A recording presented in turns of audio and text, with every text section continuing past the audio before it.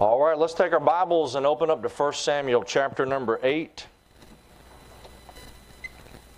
1 Samuel chapter number 8. If you'd like to stand, we'll read this passage here and hopefully get a word from the Lord.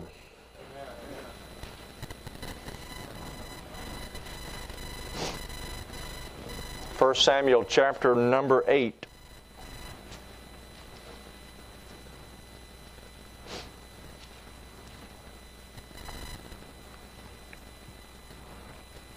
Begin in verse number 1. 1 Samuel chapter 8 and verse number 1. And it came to pass when Samuel was old that he made his sons judges over Israel. Now the name of his firstborn was Joel, and the name of his second Abiah. They were judges in Beersheba. And his sons walked not in his ways, but turned aside after lucre, and took bribes and perverted judgment. Then all the elders of Israel gathered themselves together and came to Samuel unto Ramah, and said unto him, Behold, thou art old, and thy sons walk not in thy ways. Now make us a king to judge us like all the nations. But the thing displeased Samuel when they said, Give us a king to judge us. And Samuel prayed unto the Lord. And the Lord said unto Samuel, Hearken unto the voice of the people and all that they say unto thee, for they have not rejected thee, but they have rejected me that I should not reign over them. According to all the works which they have done since the day that I brought them up out of Egypt, even unto this day, wherewith they have forsaken me and served other gods, so do they also unto thee. Now therefore hearken unto their voice, howbeit yet protest solemnly unto them, and show them the manner of the king that shall reign over them. Let's pray. Lord, we thank you for the privilege we have of coming to church. We still thank you for the freedom that we are able to enjoy in our country, that we can worship in liberty, and we thank you for that. We don't want to take it lightly. God, we pray that as we assemble and open up the Bible together, that we may set aside the distractions and cares of this life, and we might focus on this portion of Scripture and get a message that you might have for us from this text. Lord, help all of us to listen for your voice and to get something from you. Lord, we need help. We need encouragement. We need rebuke. Lord, we come to church because we do want to hear from you and we want to hear the preaching of the Bible. And I pray, God, you might speak to us. I'm not worthy to open this book and preach. I am nothing. God, I pray that you just set me aside and just bless the message even in spite of myself. And I pray, God, you might help us. We love you. We thank you for Jesus Christ. It's in His name that we pray. Amen. Amen. You may be seated. Thank you for standing. When you think about the nation of Israel, you understand that Israel, as they begin their nation coming out of Egypt, they do not have a king over them. Moses is referred to as the king of Jeshurun, but it's not in a real political sense of the word. And then when you go through the period of the book of Judges, you understand that they had judges that ruled over them. Do you remember the passage back after Gideon had done all the great exploits with the 300? They all got together and they said, Gideon, we want you to be our king, rule over us. And Gideon said, I won't rule over you, neither will my sons rule over you, but the Lord will rule over you. So during the period of the judges, you had judges that guided the country, but you didn't have a king per se. The danger in that was you had so many uh, interpretations, if you will. You had so much uh, distraction or so much um, confusion. The Bible says every man did that which was right in his own eyes. There was no organization, there was no structure. Like somebody said one time, everything rises and falls on leadership. We do know when we read the period of the kings that the Bible talks about, I think Jehoshaphat, it says he turned the hearts of the people back to God. That's what Elijah was trying to do when Ahab was king over northern tribes of Israel. He had fire come down from heaven. He said, God, I want you to turn their hearts back. So leadership could influence an entire people, just as a head of a household, a father can influence an entire family, or maybe a pastor can influence an entire congregation, so on and so forth. So before you had the period of the kings, the Bible here states very frankly, here, God states it to Samuel that God was his king.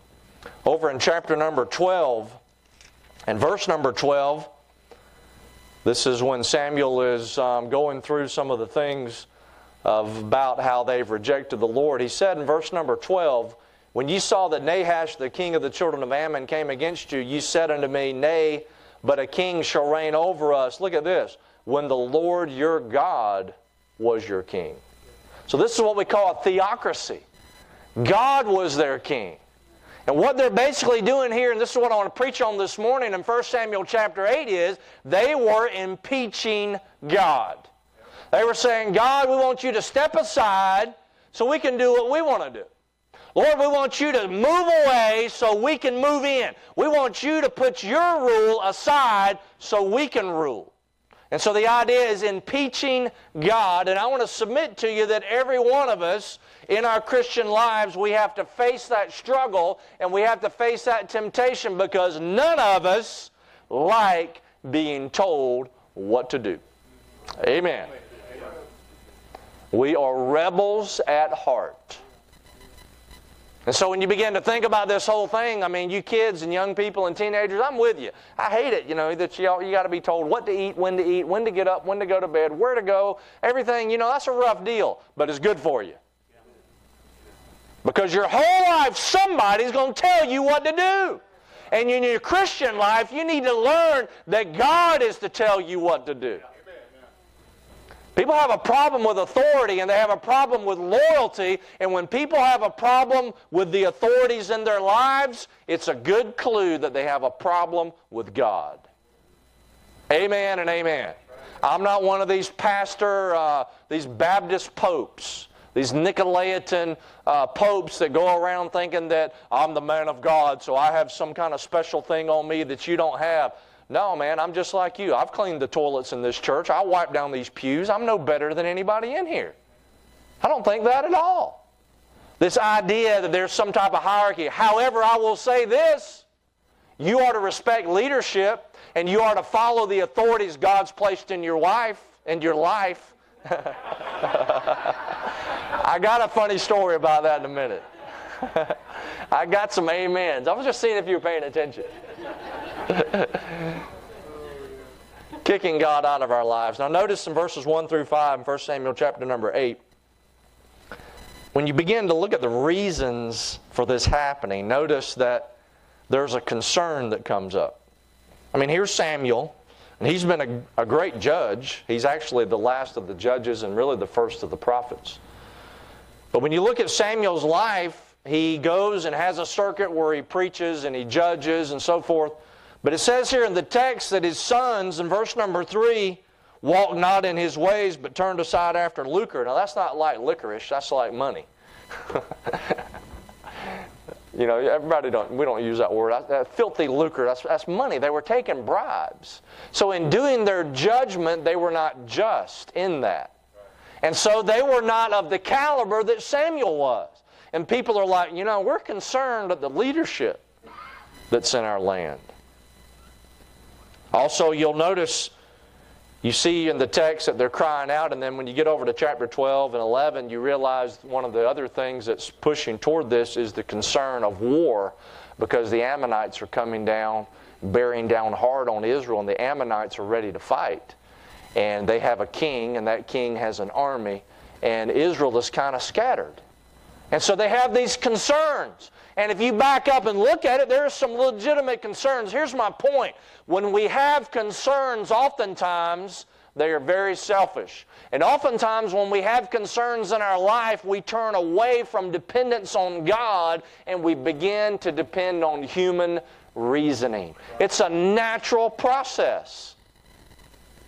You say, Well, I've been saved all these years. You still have a wicked flesh, and that flesh has a tendency to turn back to itself and depend on itself. You know, when you first got saved, some of you can remember you were so in love with the Lord. You were so in love with the Bible. You were so excited. You literally believed God painted each sunset just so you could enjoy it. You said, Man, look what the Lord did for me today. You literally, when you had your food, you really said, Man, God, you put this food on my table. You really felt that way and believed that way. But as time wore on and you begin to go through things in life, you begin to oftentimes lose that first love. And the tendency, especially when we have concerns that come in our life, is to rely on what we can do to get out of the trouble.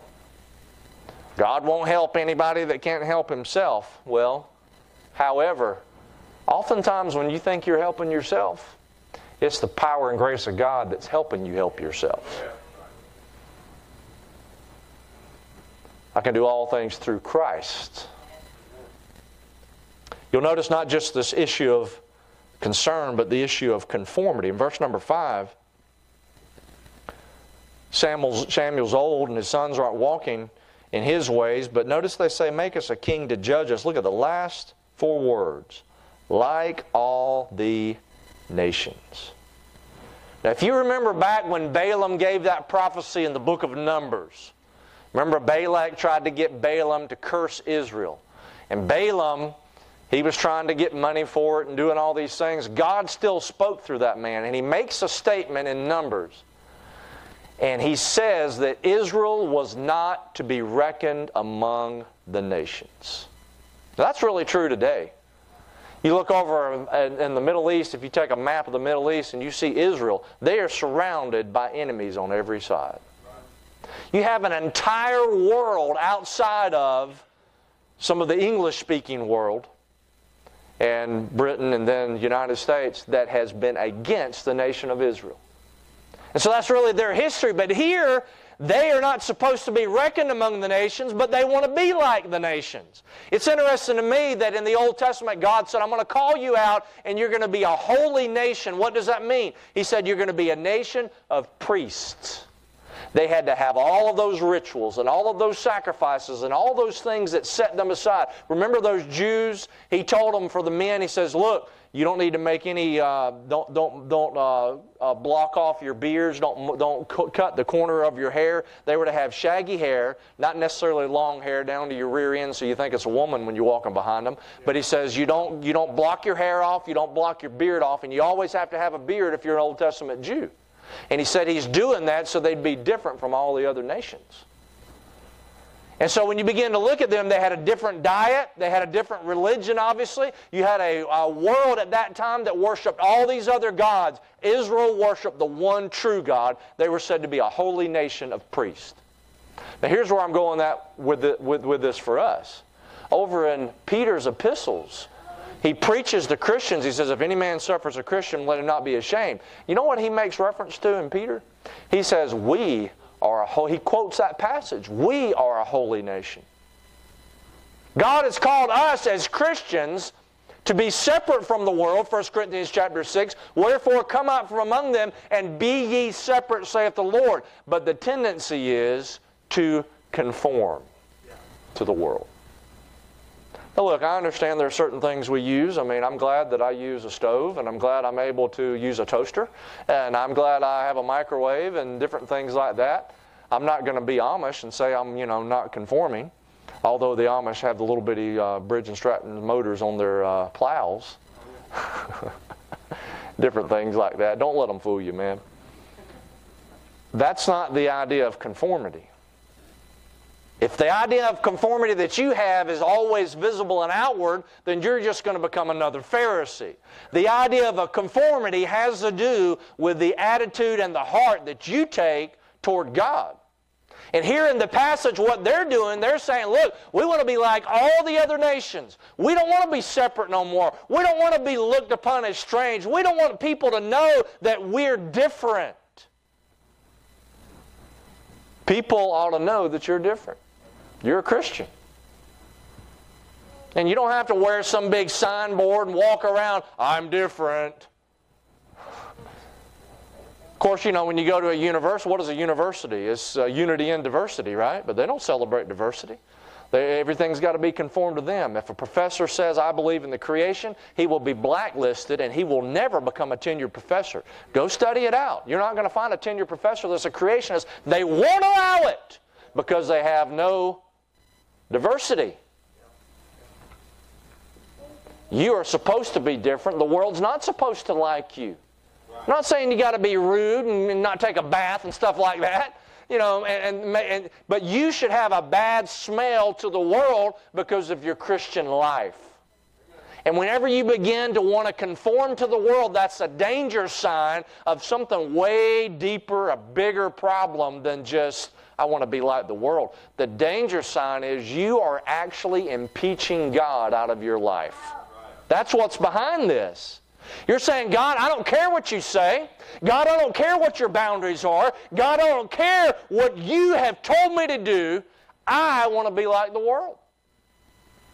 Conformity. Well, you also see in verse number 7 they say unto Samuel, Hearken unto the voice, or the Lord said to Samuel, Hearken to the voice of the people. They've not rejected thee, but they've rejected me. Here's the real cause. The real cause is this issue of authority. And I told you I'd tell you a story, and here it is. There were two boys, and they were, they were getting all settled in, uh, like a six year old and a four year old. And the babysitter was coming over so mom and dad could go off for the night and uh, they had left, and the babysitter's getting them all settled around the table, and so on and so forth. And the babysitter sat in their father's seat, and the older boy says, "Look, you can't sit there, you know. That's daddy's seat." And the babysitter said, "Look, your daddy has put me in charge, so for tonight I'm the boss." The little four-year-old said, "Well, then you need to sit in mama's seat."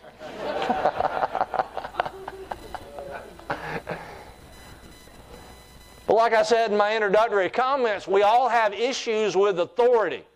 I mean, who appreciates those speed limit signs? What about those no those those double lines where you can't pass and you drive behind a tractor? Or somebody that thinks you have to farm to feed everybody. I mean, why come we have to eat? and you're riding along, and I, I mean, who appreciates the authorities in our life? Impeaching God. Like I said, there's a bigger issue behind this thing. Jesus, he gives some parables along these lines. He sends one parable about the citizens, how they hated the king, and they made the statement in Luke 19 We will not have this man to reign over us. And that is the issue. We don't want God anymore. We want our own king so we can have a say so.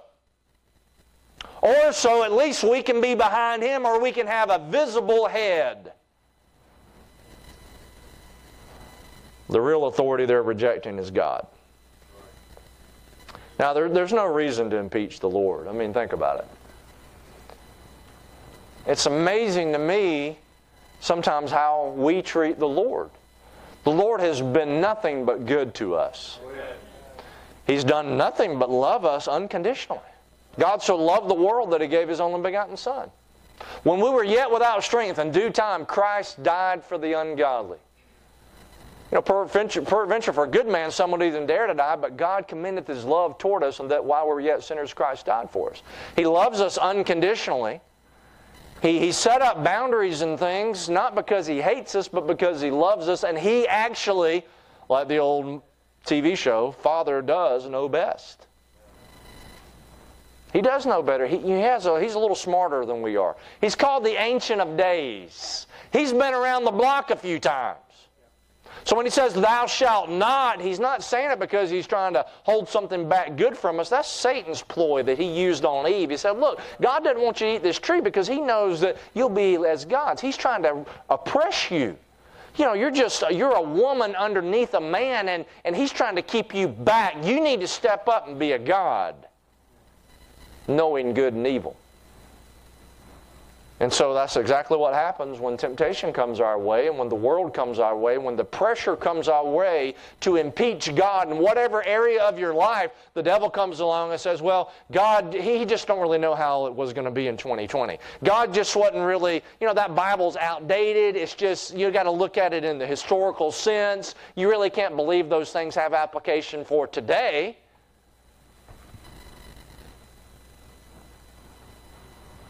That's, that's the devil's voice.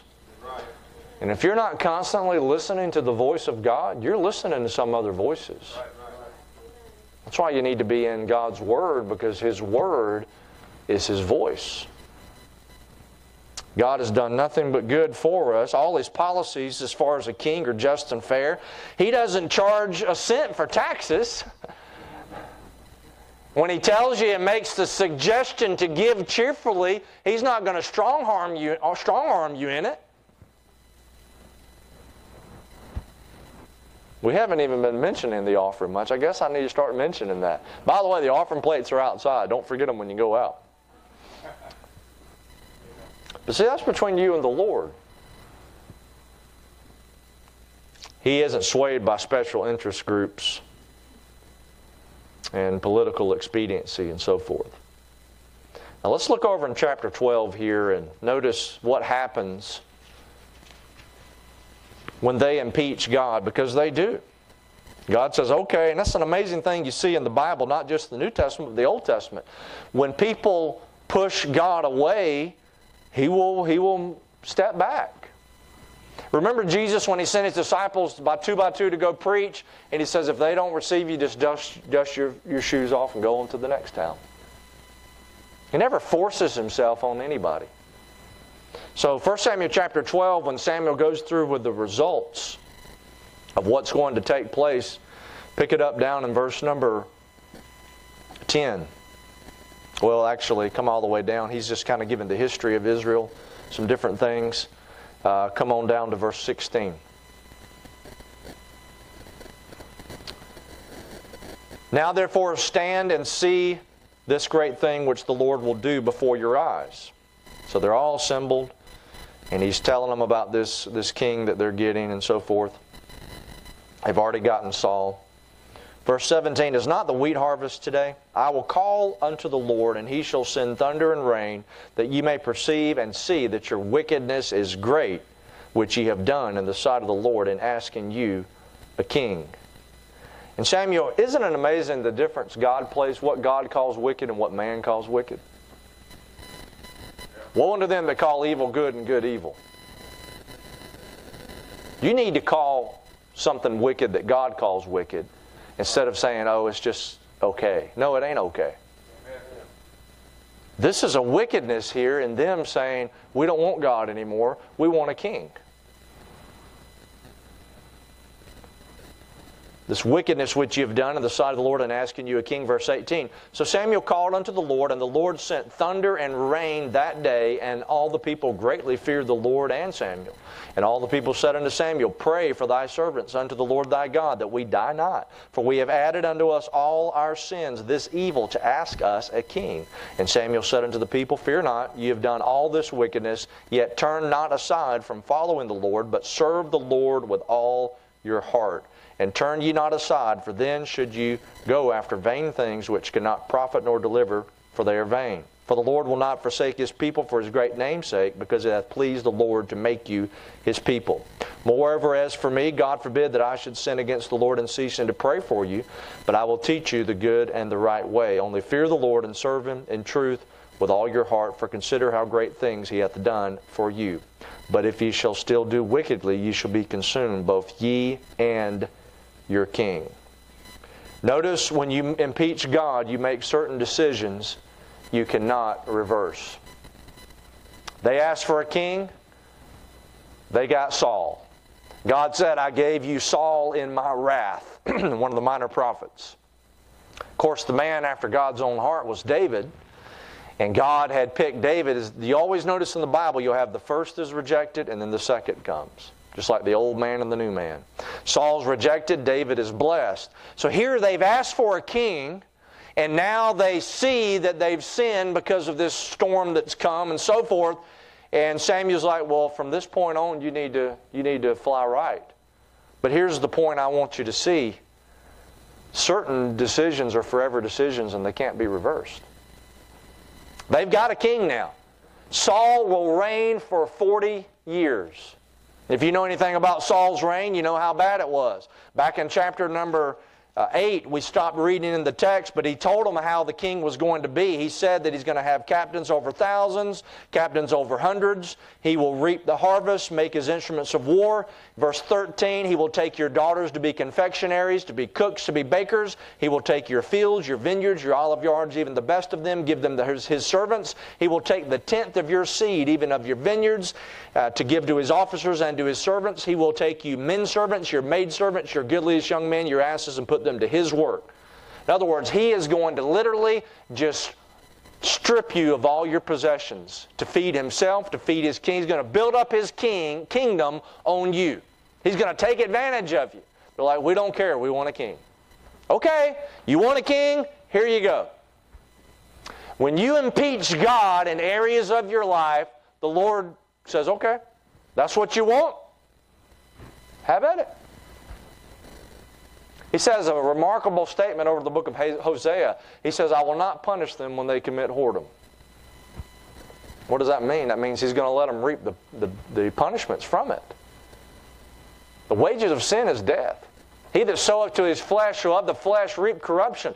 The worst thing that could ever happen to any of us, and I'm taking, I know most of you here, you're saved, you're going to heaven. If you're not saved, the worst thing that can happen to you is you can die without being saved.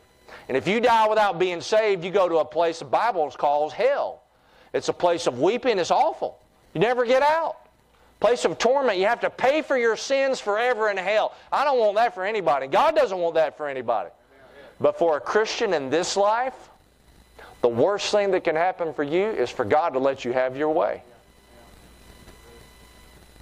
Now, God's a good parent, so there are things that He'll put in, in your life to stop you from having your way. Sometimes He'll have chastisement come through there. Sometimes He'll use the preaching, He'll use the Bible to rebuke you verbally to say, Hey, what are you doing?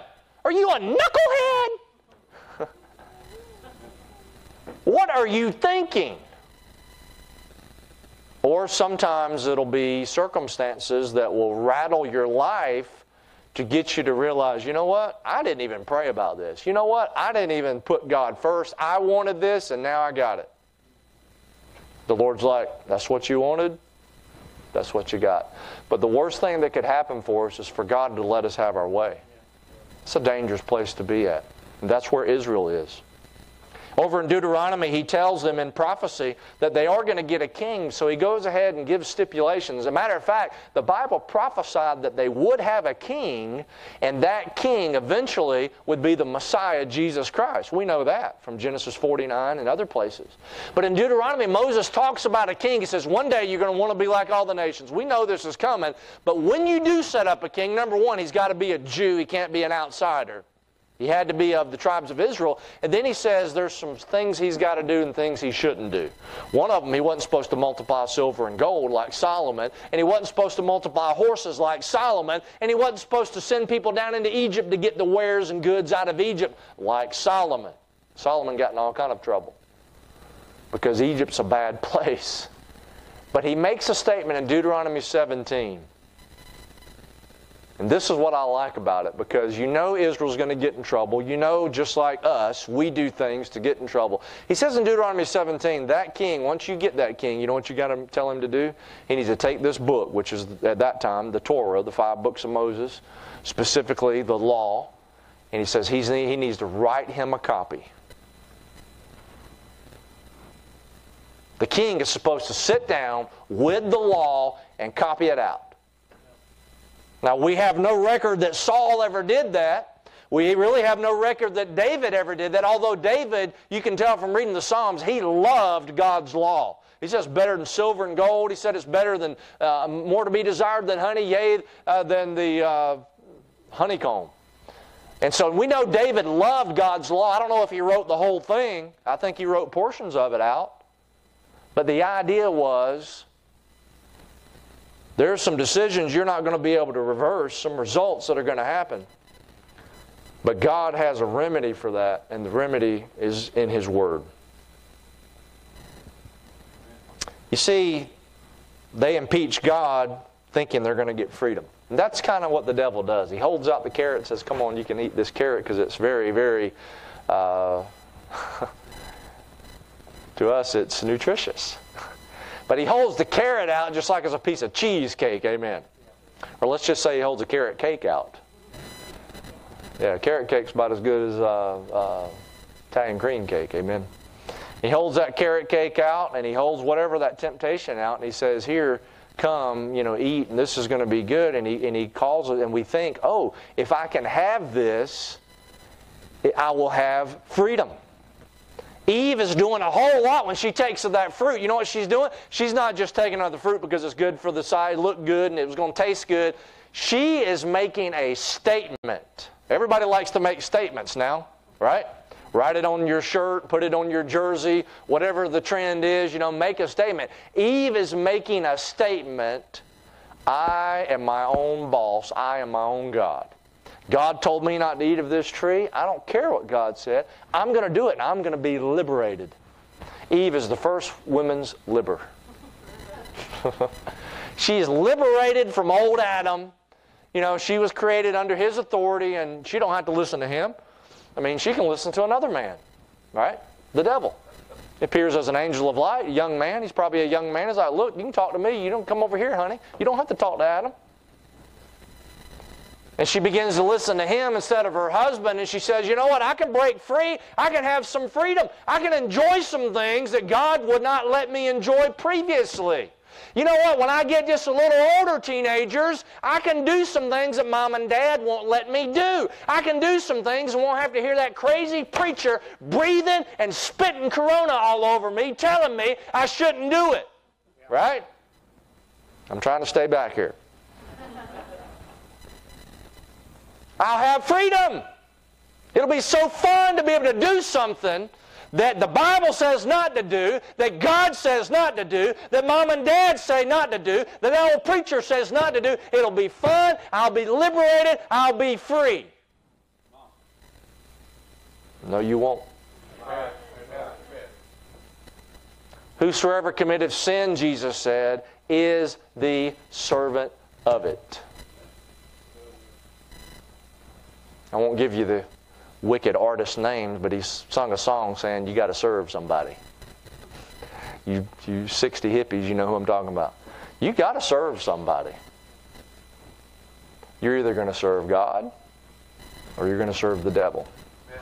You're either going to serve the Lord and, listen to this, the authorities the Lord puts in your life, up to a reasonable sense. I'm not telling you, you know, here, take this Bible and burn it. You know, you tell me whatever. I'm not going to take a Bible and burn it. We ought to obey God rather than man. But the idea of rebellion and impeaching God is the idea of setting yourself as your own God, as your own authority, and you think you're free, but you're enslaved. You think you are serving yourself, but you're serving the flesh. You think you are liberated, but you are in bondage. You think you don't have a king over you, but you do. Enslaved by this world and the world system. I think it's a bad idea to kick God out of your life. That's a bad idea. That's a bad move.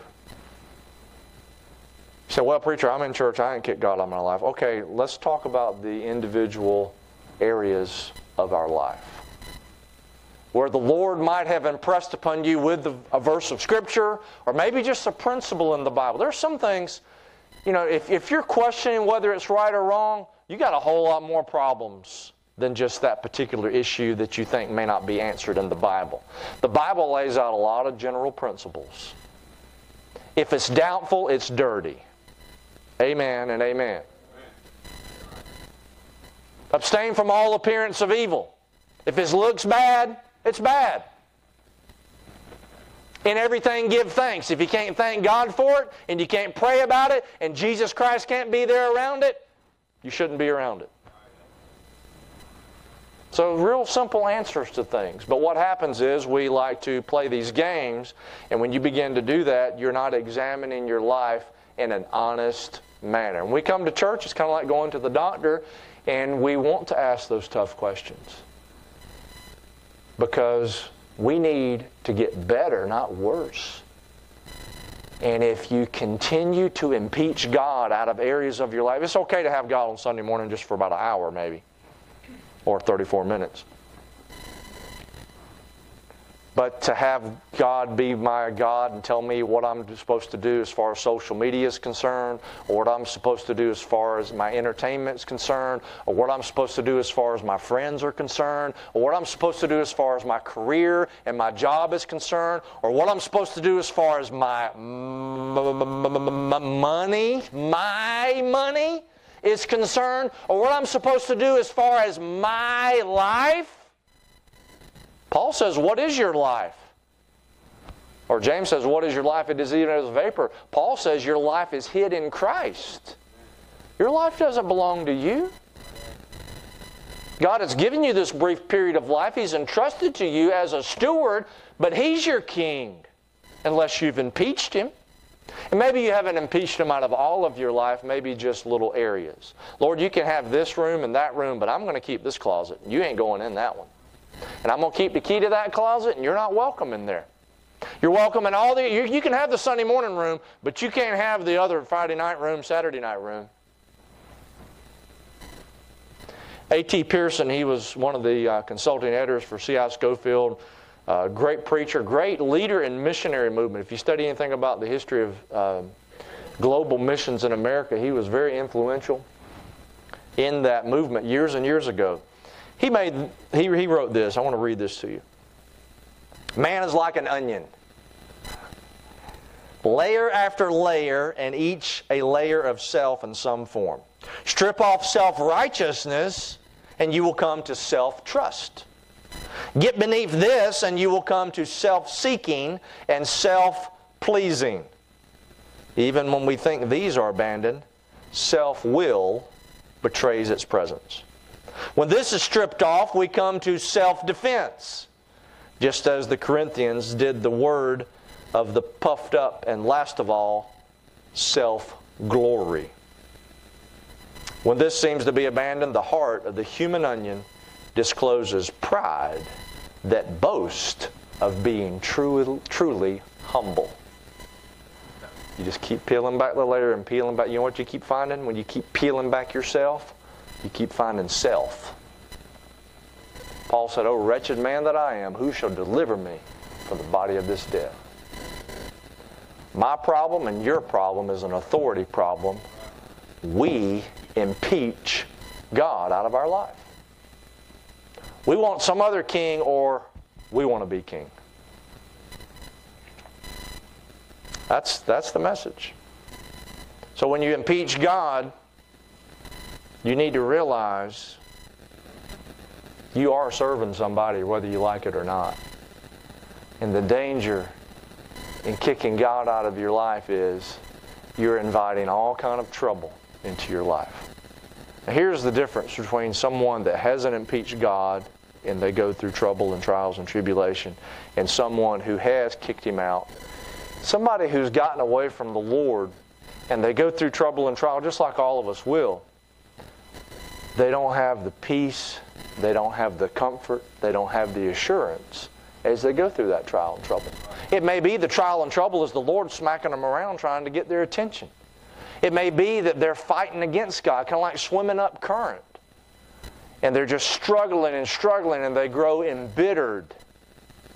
But somebody that has God as part of their life and God has open doors policy for every area of their life, whatever you face, you know and you realize, okay, God, you told me I'm doing this according to your will, so if I'm having trouble, then that really belongs to you because you're in charge totally two different perspectives.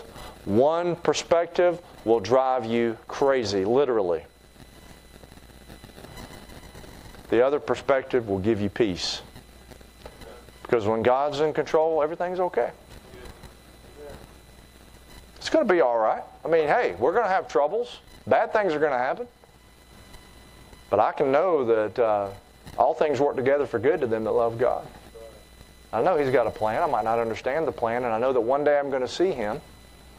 And if I've done what I'm supposed to do at the judgment seat of Christ, it'll go a whole lot better than if I kick Him out of areas of my life and try to justify that. It's going to be a bad day of reckoning when we get to the judgment. We're going to have a word of prayer, have just a brief invitation time. If there's something in your life where you've been saying no to the Lord or an issue or an area in your life you've, you've maybe not verbally said, Get out of my life, God, but maybe if that's how you feel, why don't you repent of that this morning? And just say, Lord, I don't want to impeach you out of my life. I'm too self willed. Lord, I'm too strong. Lord, forgive me. But you just be honest with the Lord this morning.